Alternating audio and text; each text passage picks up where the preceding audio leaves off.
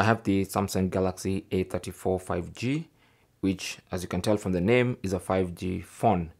But if you're in a place that does not have 5G, instead of letting your phone consume more battery trying to get 5G networks, you can turn off 5G and just continue using 4G, 3G, 2G, and Edge.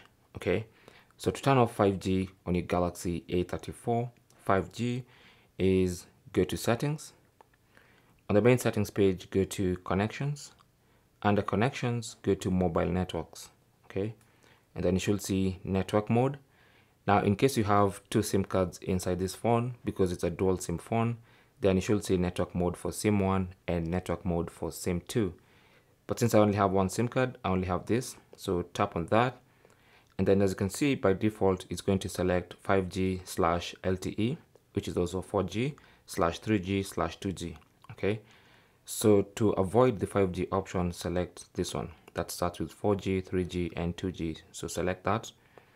And from now on, your phone will never look for uh, 5G networks. Okay. So that means you're going to save a lot of battery life uh, with this option.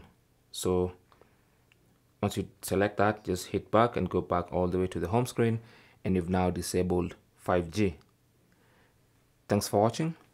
Leave your comments and questions down below and good luck.